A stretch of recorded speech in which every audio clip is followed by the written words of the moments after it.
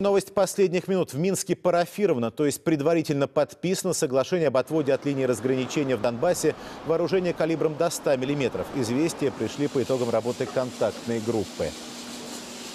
Напомню, с инициативой убрать такую технику, в том числе танки, орудия и минометы, в тыл, по крайней мере, на 3 километра, выступили 18 июля руководство самопровозглашенных республик Донбасса.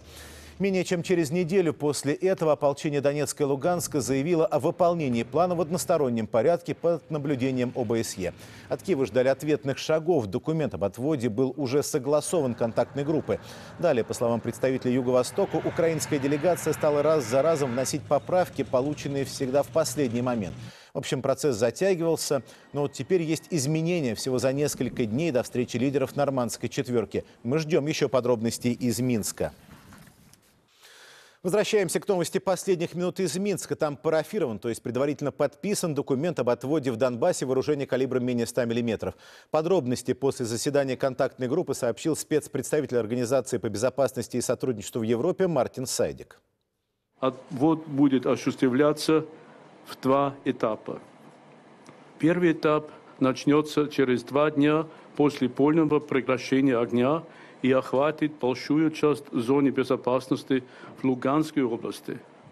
Отвод будет происходить по типу вооружения. Сначала танки, потом артиллерийское орудие, затем минометы. ОБСЕ будет поддерживать выполнение данного соглашения путем осуществления мониторинга и верификации. Это еще один важный шаг – для реализации того, что уже было согласовано в Минске.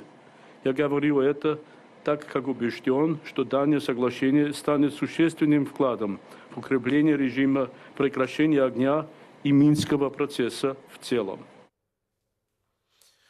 В свою очередь, делегат от Донецка в контактной группе Денис Пушилин сообщил, что документ вступит в силу сразу после подписания главами республик Донбасса, которым текст привезут завтра.